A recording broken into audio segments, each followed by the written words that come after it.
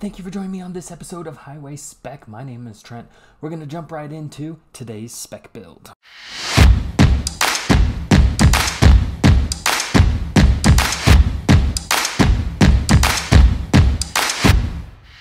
So what are we specking out today? It is the vehicle that they just uh, did the first drive on, so we kind of know more of what to expect.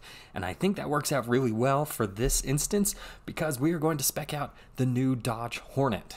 To the hornet's nest. There is a reason why we're going to build one out now, even though the RT model is not available yet, and that is because most of the reviews that I read said that the GT model is actually better for the fact that it makes more power. Now, on paper, the RT does make more power with its 1.3 liter plug in hybrid powertrain. However, that is with an overboost function that is only available for a short amount of time, and the GT model has its power at all times with the 2 liter Hurricane inline 4. So, we're actually going to spec out the GT model, even though it's not the performance model. So looking at the difference between the GT and the GT Plus, right here we've got the LED headlights, which the Plus model has. It has navigation and Harman Kardon premium audio system and premium leather interior with ventilated and heated front seats with memory and sunroof. All features that you don't usually get in something this size, and also it does have a power liftgate and wireless charging. Things that a lot of people I think would like to have the niceties. So it is $5,000 more, but we're going to go ahead and select the GT Plus.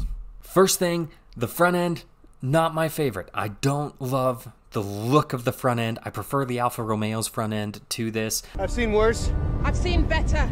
With that in mind, I'm going to choose black because black just tones down the lines. You don't see them as much, and so it looks better in my opinion. So we're gonna go with 8 ball black exterior paint, and because of that, we can get a complete blackout package if we want with the black 18 inch wheels, and that adds looks like the GT black top package.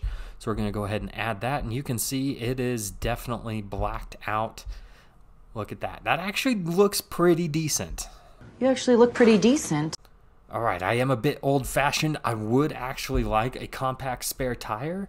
So we're going to go ahead and add that for $350. Now, being that it's all blacked out on the outside, I actually would like a little pop of color, so we're going to do the red full leather seats, especially since it only adds $495. It does come standard with the Uconnect 5 navigation system with a 10.25 inch touchscreen, pretty large given the class of vehicle. And like I mentioned earlier, that GT Plus does give us the power sunroof. All right, so we only have a couple of packages to choose from. You've got the GT Blacktop package, which I mentioned, gives you the dark badge, gives you the black wheels, dark Hornet badge, gloss black all around. That that's pretty self-explanatory. All the manufacturers are doing a blacked out pack, one form or another. Next up, we have the Tech Pack without parallel and perpendicular park assist. So it gives you the active driving assist system, drowsy driver detection, intelligent speed assist, park sense front and rear, and surround view camera system. Now, the surround view camera system is the thing that I would honestly be most interested in.